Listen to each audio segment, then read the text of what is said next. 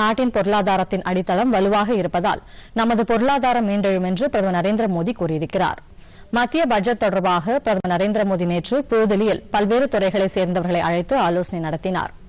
சுமார் இரண்டு மணி நேரம் நடைபெற்ற இந்த ஆலோசனைக் கூட்டத்தில் பல்வேறு துறைகளைச் சேர்ந்த நிபுணர்கள் தங்களது அனுபவத்தை பகிர்ந்து கொண்டது மகிழ்ச்சி அளிப்பதாக பிரதமர் கூறியதாக மத்திய அரசின் செய்திக்குறிப்பு தெரிவிக்கிறது கொள்கைகளை வகுப்பவர்களுக்கும் அதை பின்பற்றும் தொழில் துறையினருக்கும் இடையே ஒருங்கிணைப்பை ஏற்படுத்த வேண்டியுள்ளது என்று அந்த கூட்டத்தில் பிரதமர் சுட்டிக்காட்டினார்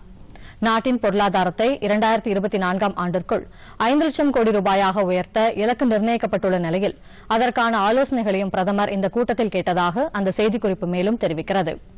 சுற்றுலா நகர்ப்புற மேம்பாடு உள்கட்டமைப்பு விவசாயம் சார்ந்த தொழில்கள் நாட்டின் பொருளாதாரத்தை வளர்ச்சிப் பாதைக்கு கொண்டு செல்ல வல்லமை படைத்தவை என்றும் புதிய துறைகளால் கூடுதல் வேலைவாய்ப்புகளை உருவாக்க முடியும் என்று இந்த கூட்டத்தில் பிரதமர் எடுத்துரைத்ததாகவும் அந்த செய்தி மேலும் தெரிவிக்கிறது